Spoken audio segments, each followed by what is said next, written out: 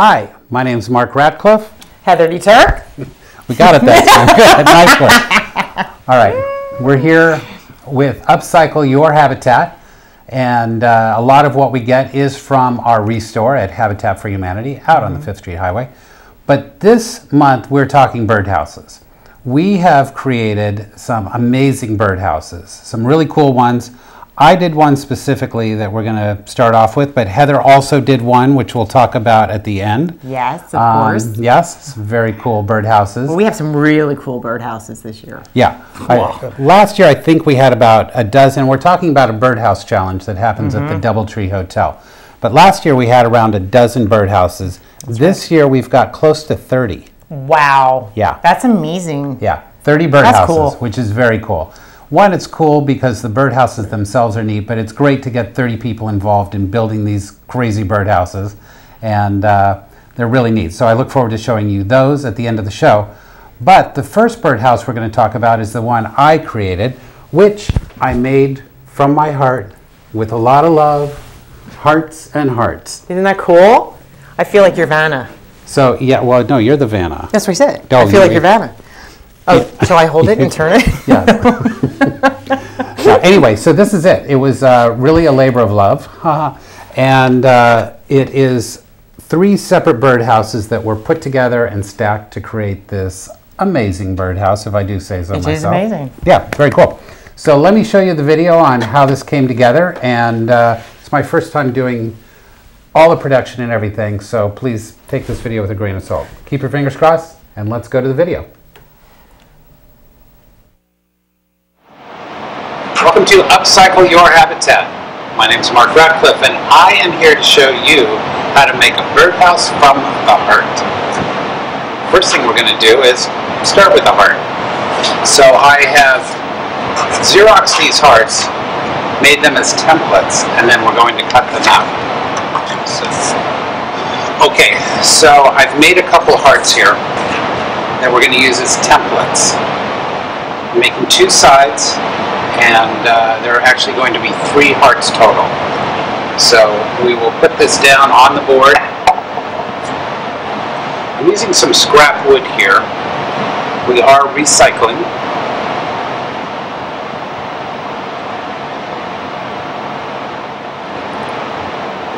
Right, and we're going to do that twice.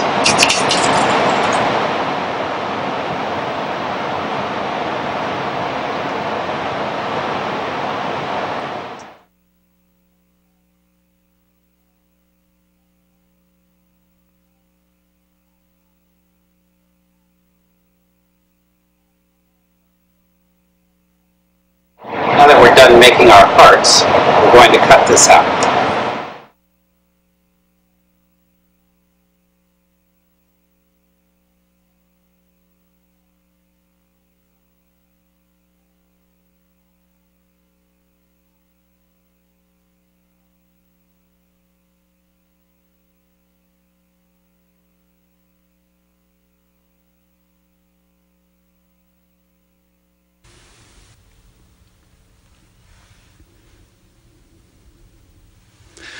After cutting out the hearts, I then take the laminate, soak it in water so that it's pliable enough to bend around the hearts. I bend it around and tack it into shape with nails and allow it to dry. At that point, I take the laminate back off and I slightly sand and paint the hearts. I painted them a black base color uh, one to seal it, and two to add a little depth and interest in the hearts. Uh, also, black heart, I don't know, it seems like there should be some sort of metaphor in that somehow or another. anyway, then the next thing I do is clamp it to the workstation. I clamp it because I did try to hold it once and drill out the holes, and that did not work at all. So, clamping it to the workstation made it much more secure and a lot safer as well.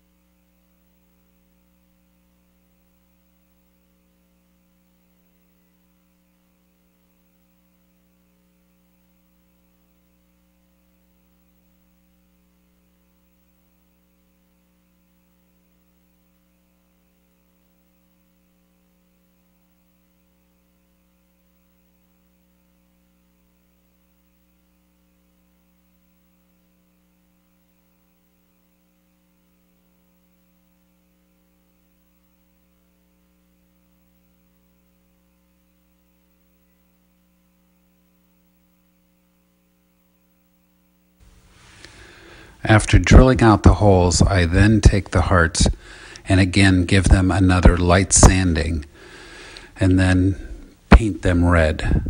I brushed over the black of, with the red, giving it some kind of fun brush strokes, and then the front of the heart I just painted a solid red. At that point, I glued and nailed on the laminate to get it into place. I then stained the laminate with a red stain and then took a water solvent uh, varnish and painted over the or brushed it over the top of the hearts to seal it completely. I did that a couple times to make for a good coat. Oops. Okay.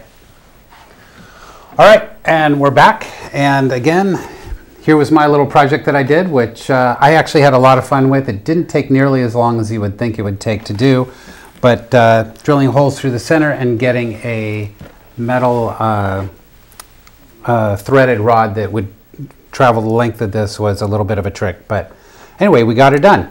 And how, well, how much time did it take you? It probably took me a total of 10 hours. That's not bad at all because that's a gorgeous, bad. gorgeous birdhouse. Yeah, and I've got a few more elements that I'm going to add to this, but you're going to have to come to the DoubleTree and check them out uh, this this next week. And that's a fun, fun night, and I know we're going to talk more about that night. Yeah. But yeah, that's a cool night. So get so, your pens and paper out and get down all the details. What's going to happen with that night soon because it's coming. Tell me about this. This is um, our palette. You all know if you know anything about stuff marketplace. Our big deal is that we do uh, a lot of pallet furniture and uh, pallet art. So we did our birdhouse out of pallet. Yeah. And I have to tell you, as usual, I'm a frugal, you know, fun artist. So no, it's very cool. so we do a lot of shopping. We find different things and buttons and beads and things of that sort. We good. I mean, the dollar store is like my best friend. So like we had gotten these. You can see those there. Uh, a lot of people use them in aquariums and whatnot. We used it as our shingle. And then we put a box here in the front, which I thought, uh, this here is my favorite part right here. I'm sorry, but let me, before I get to the box. This here is a doorknob Mm. You get it? Yep. So the front door of the birdhouse, I thought that was so ingenious. I do have to give a big applause to my fiance, um, soon-to-be husband. Yes, congratulations by Thank the way. you. You don't have your ring on. I, you know what? I ran out of the house. He's probably like, "When? Where's your ring?" It's there, honey. I'm sorry. Um, yes, congratulations. Thank you. Yeah, thank you very exciting. much. Um, and a big shout out to all my family. Okay, so yeah, this is his creation totally um, for sure. He's he's he's really good with stuff like this, and he had put in the front then um, a box, and at first he was going to make a bird bath. And then I said, well, you know what? Why don't you leave it up to the person who bids on it? It could be for a plant. I said a bird bath or put seed in it. That's a cool idea. Isn't it a cool idea? Yeah. That's, so that's actually the second bird bath that uh, would have been at the event because we have a birdhouse that was built by our woodshop, who uh, Bill Haney, who did an amazing job, and he actually put in a bird bath, which he's calling a pool, into his uh, into his birdhouse. So another one that's really cool. Well, I'll tell you right now, I just had so much fun with this project. I love when you do stuff like this, Mark. You are so creative, and you're always just like, I got a challenge for you, fun challenge, and we went right to it. And this did not take what yours took. Of course, it's not nearly as elegant, um, but you know, I this took an afternoon to do. So this was fun. So you just go get yourself some scrap wood or something like that to put up for your little friends in, in your garden your trees and also come to the show, to the, to the event and get yourself a really awesome piece of artwork. So tell me what you used for the beading on the top. Oh, I did. That was that I told you at the. It's the stones that we had gotten. Uh, you can get them at the dollar store. A lot of pet stores have them for gravel. Did you tell me that already? I did, I but that's okay. That's that, all right. That was, I know you're so. That's the part of the no. show where I go to sleep. Yeah, you know this. this is where you were mesmerized yeah, by so, the beauty of it, and you were like, "Oh, I'm hypnotic." So I get it. Okay, we're good. All right, I got it. so, you. yeah, we found. Go find some old hardware, hinges. It's kind of cool. Yeah, it yeah, is very cool. All right, I'd like to show you actually some more birdhouses. If we can go back to the video for a second.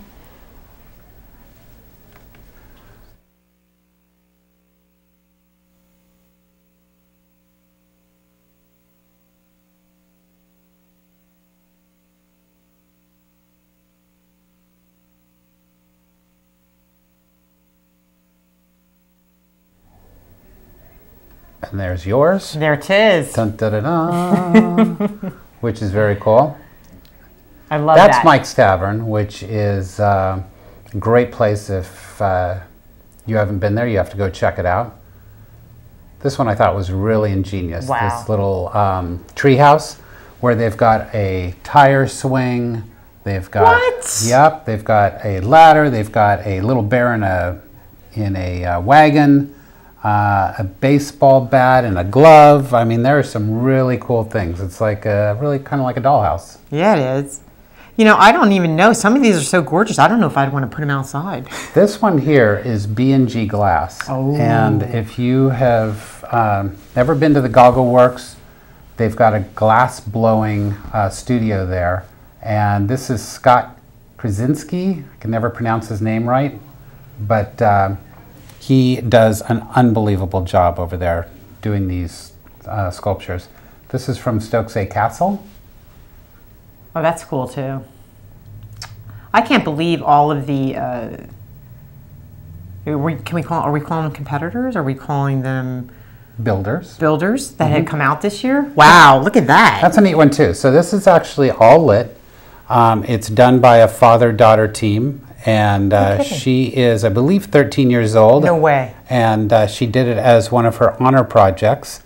Uh, she's in the honor society, and she needs to do a volunteer job. And at that age, it's tough to find uh, volunteer opportunities. So I need my house cleaned. they got together. Um, you have to be a nonprofit first for okay. that Oh, to okay. qualify. All right. Yep. So they did this for Habitat for Humanity, uh, and they did such a cool job. And it's lit and it's huge. It That's impressive. Really, really big. And That's impressive. Very cool. This is another one that Scott did uh, in conjunction with uh, B&G Glass, and. Uh, uh, Maggie Gallen is the one that worked with Scott Krasinski at uh, the Goggle Works, and I'm hope hope I'm not totally butchering his last name, but uh, anyway, it's laid over this burl um piece of wood, which is really really cool. That's beautiful. Yeah.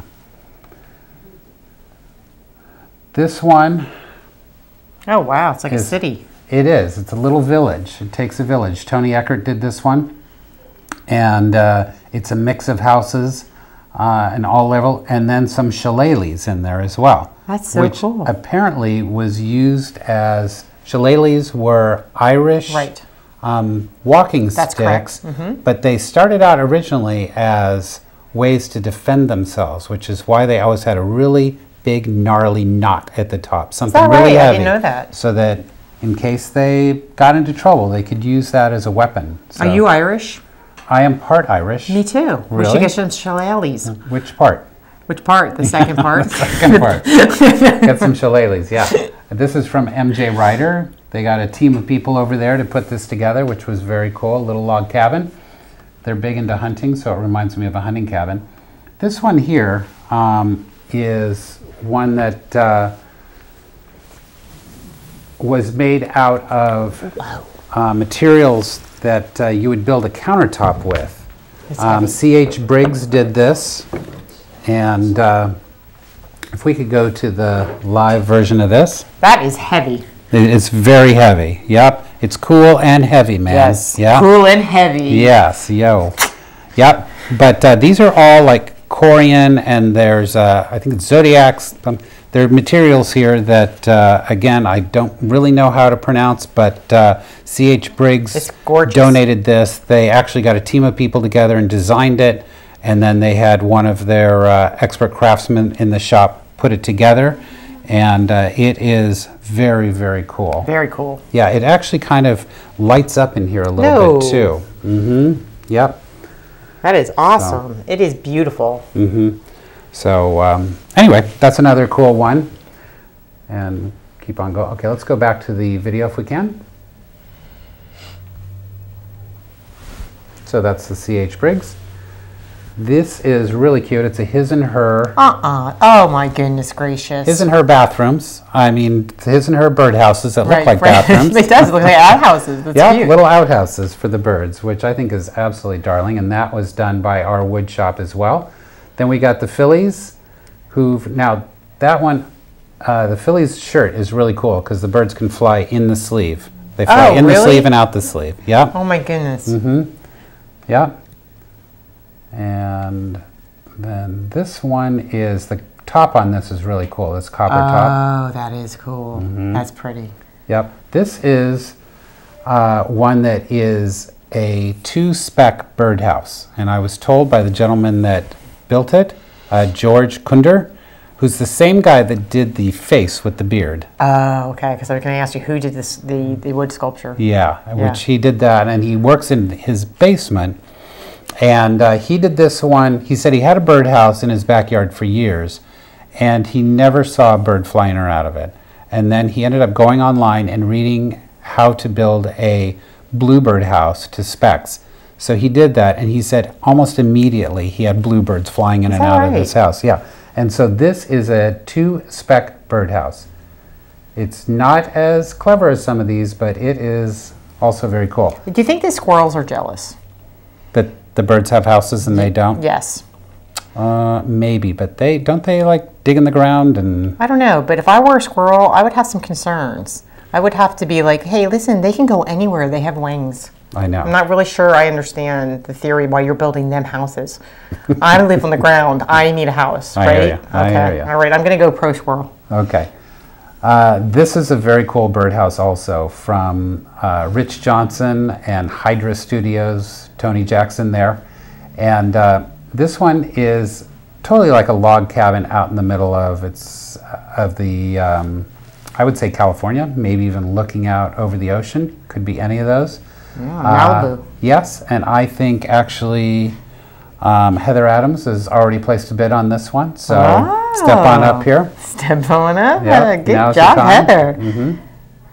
If you have any, if you actually want to see these again, you can go to habitatberks.org, and all of these on, are on habitatberks.org, and you can vote for your favorite ones on there, which uh, is just kind of fun. WFMZ, I don't think an actual competitor of BCTV, but they have a giant mic, which this mic actually stands about four and a half feet tall. Is that right? Mm-hmm. Wow. Yep. Yep. And uh, you can talk into it.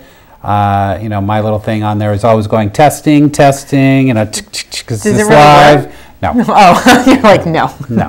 Like, does it work? You're like, no. Yeah, I was going to say the only thing live there is me, but I'm not even sure about that. But the uh, microphone, I'm calling it the mic house. Oh, I like it. Yeah. So that would fit in your family. Yeah, it would. Mm-hmm. I have a lot of You've mics. got a lot of mics in your house. And of course, that is the one you just saw by yours truly. And that's it. They're gorgeous. I'm So- really excited about this year for sure. Welcome to Upcycle Your Are you Habitat. coming? I'm going to try to come. We have the kids, so I have to still get my tickets. Am I am I failing? When's when's the last date to get the kid tickets? March 18th Good, is okay. the uh, is the event. So it's at the DoubleTree, and we're going to have 30 birdhouses there, and um, there's going to be live music by the Uptown Band, Okay. miniature golf.